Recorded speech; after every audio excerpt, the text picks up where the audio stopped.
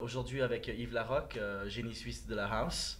Euh, Yves, tu te présentes en deux trois mots euh, selon tes propres termes. Ouais, bah écoute, je m'appelle euh, Yves Larocque de mon prénom Yves Cheminade, j'ai 32 ans, j'habite à... Non, j'ai 31 ans, je vais avoir 32 ans dans, une semaine.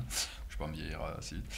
Euh, je fais de la musique depuis que je suis très jeune, j'ai commencé comme rappeur dans les années, euh, fin des années 80 et après j'ai fait un virage dans la house en 2000, 2001, 2002 quoi.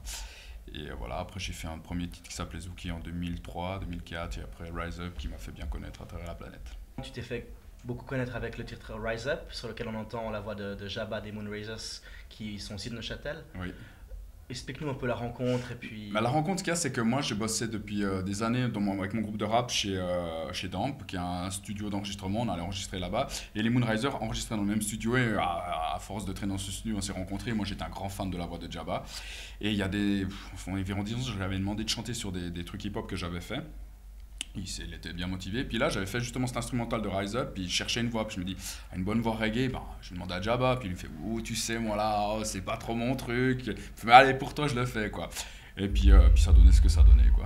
On joue beaucoup ensemble, quoi. Euh, Souvent, je fais un, DJ set et après, on fait un petit, un petit 20 minutes de live avec lui qui vient chanter, qui met le feu total.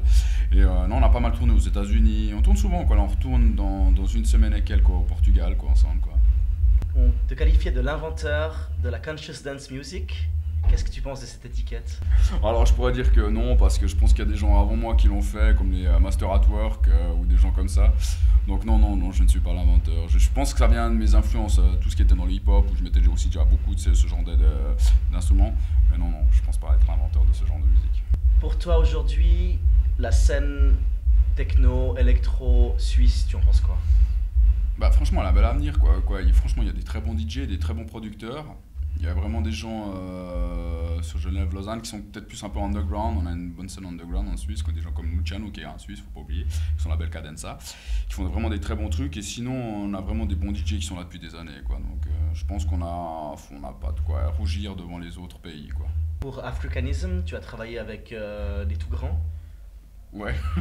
ouais, Africanism, c'était en fait, euh, j'avais fait en fait le Zouki en 2004 et c'est Mr. Mike qui me l'a signé. Après, c'est Bob Sinclair qui me l'a signé en licence sur sa compile Africanism, mais j'ai pas vraiment fait partie de son équipe. quoi. J'étais juste vraiment un, j'ai juste licencié un titre chez eux, mais euh, c'est vraiment à la base, c'était Mr. Mike avec qui j'ai travaillé en premier. Quoi. Alors, euh, on te souhaite un bon set Bah, merci beaucoup. et euh, des bonnes vacances après. Ouais, bah, merci. Yes. Yes.